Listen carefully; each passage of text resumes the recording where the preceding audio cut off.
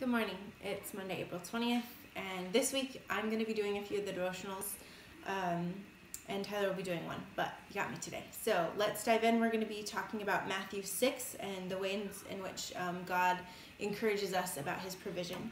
He says, And why do you worry about clothes? See how the flowers of the field grow. They do not labor or spin, yet I tell you that not even Solomon in all his splendor was dressed like one of these. If that is how God clothes the grass of the field, which is here today and tomorrow is thrown into the fire, will he not much more clothe you, you of little faith? So do not worry, saying, What shall we eat, or what shall we drink, or what shall we wear? For the pagans run after all these things, and your heavenly Father knows that you need them.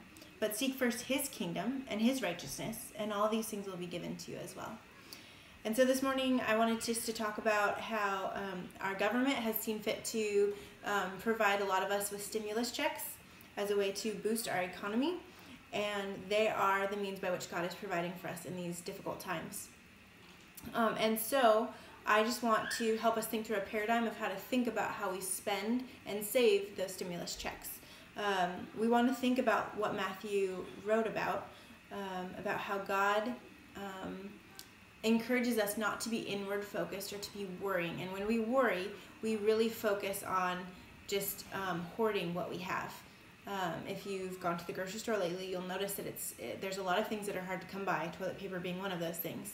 And so, um, as God's children, one of the ways that we can be distinctly different than the world and to um, exercise our faith and trust in Him is to be um, looking externally and to be um, thinking about how could we bless others, how we could we give back to God as He has given to us, um, rather than just hoarding what we have. Um, so some ideas. First of all, I don't want that to make you think that I mean don't save what you have. Proverbs makes it very clear that um, a wise man or woman saves for um, difficult times ahead. The ant stores up for winter.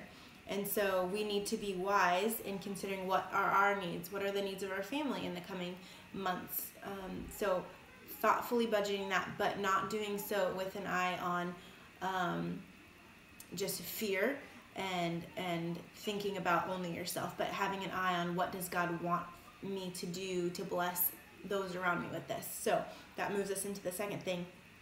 I'm just kind of thinking about the paradigm. What is what did God call us to? He called us to love God with all our hearts and to love our neighbor as ourselves. So thinking through what is a way, what are some ways that we can be people who radically bless other people.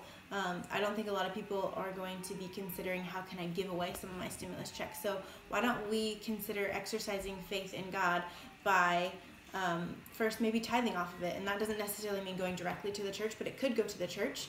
But what's way what's a way that we could take the tithe off of that stimulus check and potentially secretly bless a neighbor with um, maybe groceries or paying their electrical bill or something. Um, so just want to encourage you as you think through your finances in this season, how can I show and exercise my faith that God is going to provide for what I need? So just a few thoughts. Um, I would just encourage you to continue to save faithfully and give generously. Okay, have a great day.